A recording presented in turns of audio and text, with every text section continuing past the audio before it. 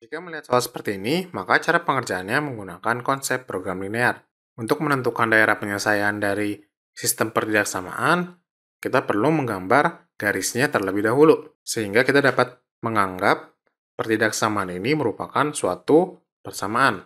Misalkan di sini persamaan bintang itu adalah 4x minus y sama dengan 0. Dan persamaan dua bintang itu x plus y sama dengan 3. Jadi kita gambar dulu garisnya, lalu kita uji titik untuk mencari daerah penyelesaian dari pertidaksamaan ini.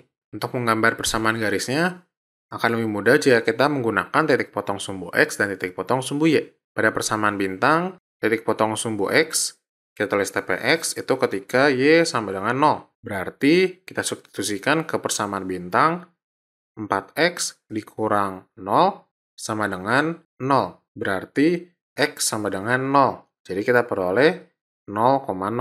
Jika melihat seperti ini, yang titik potongnya itu 0,0, maka kita dapat menggunakan satu titik lagi. Karena jika dicari titik potong sumbu Y-nya juga, akan diperoleh titik yang sama, yaitu 0,0.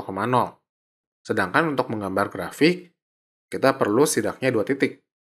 Jadi di sini kita misalkan X-nya itu 1, berarti kita akan cari Y-nya.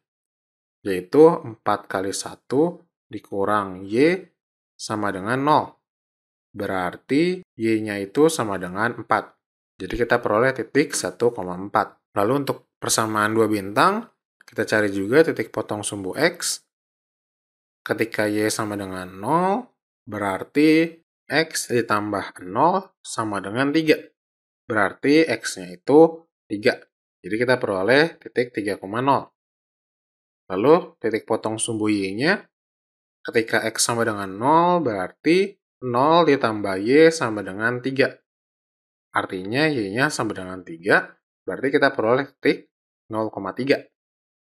Jadi kita gambar sekarang Perhatikan di sini bahwa pertidaksamaan yang kita punya memiliki tanda sama dengan, sehingga grafik yang kita gambar itu digambar dengan garis tegas.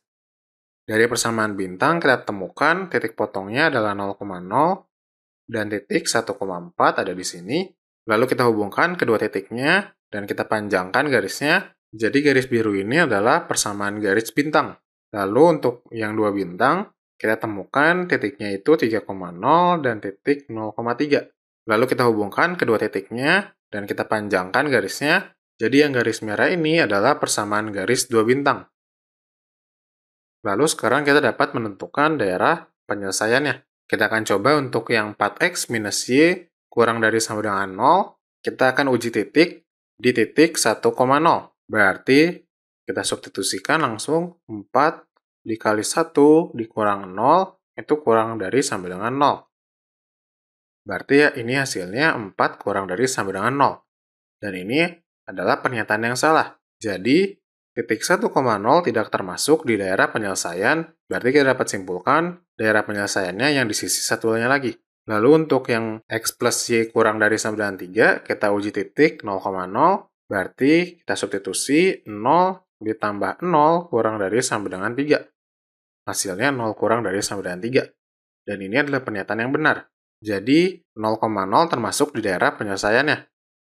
Jadi ini adalah daerah penyelesaian untuk X plus Y kurang dari sama dengan 3. Namun perhatikan juga di sini kita punya batas X lebih besar sama dengan 0 dan Y lebih besar sama dengan 0, yaitu daerah yang berada di kuadran 1 atau di atas kanan dari sumbu X dan Y. Berarti yang memenuhi X lebih besar sama dengan 0 dan Y lebih besar sama dengan 0 dan merupakan daerah yang sama-sama dipunya oleh pertidaksamaan 4x min y kurang dari sama dengan 0 dan x plus y kurang dari sama dengan 3, itu daerah yang ini.